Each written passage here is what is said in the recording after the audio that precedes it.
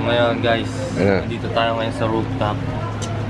Siyempre, titikman natin tong chicken tenders nila. Ito, may kasama pang ano, may kasama pang barbecue sauce. So, men, try natin muna to bago natin to puntahan. Yung isang tong grabe na to, napakalaki. Ang dami pala man, no? Mm, Potato Ito balls. guys, ito muna natin to. Crunchy bro. Pa natin.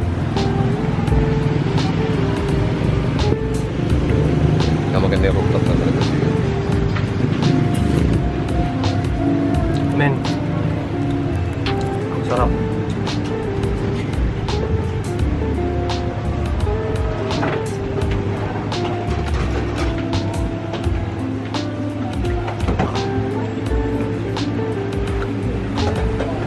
Men, tama-tama yung pagkakaluto. Yung crunchiness niya, matitikman mo talaga. Unang kagat mo pa lang. Tapos sasama mo pa ng ah, barbecue sauce dito lang yan sa rooftop, men. So, pag naantay nyo. Ito, manaman natin to.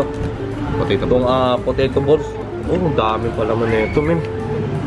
May bacon, may um, parsley, may mais.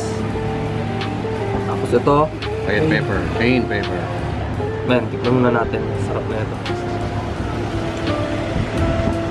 Grabe, pre.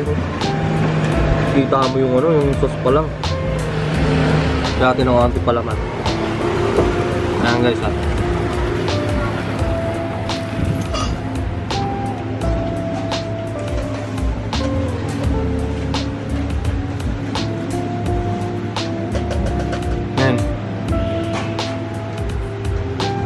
Sabing suwabe itong ah, potato balls na to. Ito na um, tama-tama sa pagkakaluto. Ang daming sauce, ang daming ah, ang daming palaman. Sarap pre. Seryoso, parang ayoko na magsalita muna. Gusto ko na lang kumain ng kumain. Sarap.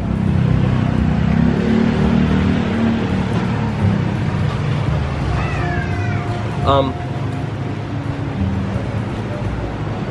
Kung gusto nyo umorder, pwede kayong pumunta sa page ng The Rooftop uh, by um, Vapor Armament. So makikita nyo dyan kung gusto nyo umorder online. Walang problema yan, mabilis sila magre-reply sa inyo. Ah, syempre, shoutout ko na rin pala yung ano, yung chef nila, si Chef Phil, yan. Grabe, ang sarap men, solid to. So basta guys, kung ah, gusto niyo talagang umorder, pwede kayong pumunta dito sa Macaria app.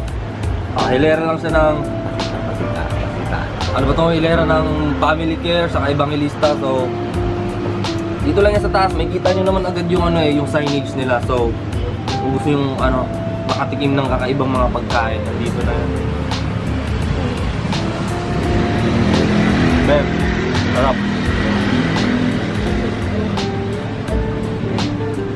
know what it is, man.